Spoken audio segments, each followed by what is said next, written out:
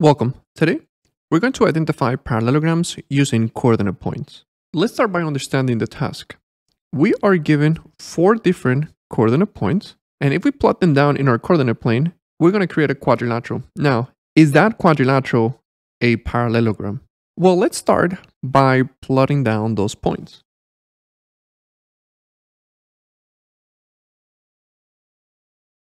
Now let's connect those points. Let me make those points a little bit bolder. By connecting those points, we have created our four-sided figure.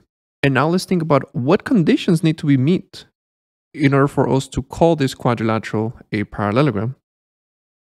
Well, if this four-sided figure is a parallelogram, then it has to fit the definition of a parallelogram. And we know that in a parallelogram, opposite sides are parallel to each other.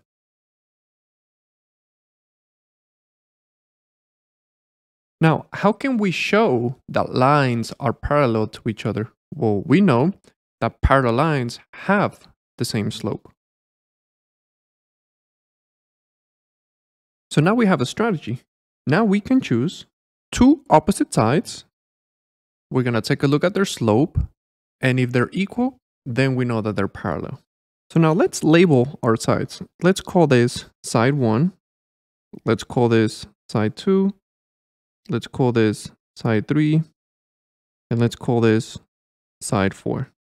Side 1 and side 3 are opposite from each other. Now let's calculate the slope for each one of them individually and let's see if they have the same slope. So let's calculate the slope of line 1. Let's find the difference of y's and let's divide by the difference of x. 3 on the top. Here we have minus a minus, which is a plus. So we have 3. So we can see that the slope of line 1 is 1. Let's calculate the slope of line 3. Difference of y's, so 4 minus 1, over the difference of x's, 4 minus 1. So we got 3 over 3, which is 1. Notice that line 1 and line 3 have the same slope, so therefore they are parallel. Now let's find the slope of side 2 and let's find the slope of side 4. If they're parallel as well, then we know we have a parallelogram. Let's find the difference of y's, 8 minus 4. And let's divide it by the difference of x's, 2 minus 4. That is 4 over negative 2, which is just negative 2. Now let's find the slope of the fourth line.